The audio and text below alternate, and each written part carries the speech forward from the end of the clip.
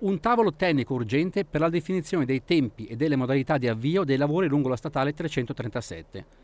È questo l'oggetto di un ordine del giorno che verrà discusso settimana prossima in Consiglio Comunale a Re. A proporlo il primo cittadino, preoccupato per lo stato dell'arte del progetto di messa in sicurezza della statale Vigezzina e che, nello specifico, andrà ad interessare il tratto compreso tra Re e il confine di Ribellasca. Ci troviamo ormai da troppo tempo in una situazione di immobilismo che ci preoccupa e non poco, denuncia Oreste Pastore. Il sindaco, nel richiamare le rassicurazioni ottenute da parte di ANAS e Regione Piemonte in merito all'esecuzione dei lavori, precisa i progetti sono stati presentati diversi mesi fa nel corso di una riunione organizzata presso la sede dell'Unione Montana della Valle Vigezzo. A tutt'oggi però risulta che non sono state ancora avviate le procedure per le richieste di autorizzazione previste per le opere. Da qui la decisione di prendere di petto la situazione. Vogliamo conoscere i tempi e i modi di partenza degli interventi, perché non mancheranno i disagi, in primis per i frontalieri, con la chiusura della strada, spiega Pastore.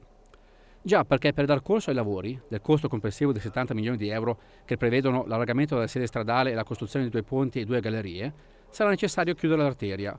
Si ipotizza prima per due mesi, poi per sei.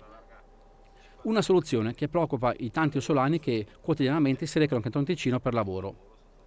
Per loro l'alternativa durante questi periodi di stop rimarrebbe, tolta la ferrovia della Vigiazzina, solo la strada della Valle Canobina e la statale 34 del Lago Maggiore, il che comporta un allungamento non indifferente dei tempi necessari per raggiungere il posto di lavoro oltre confine.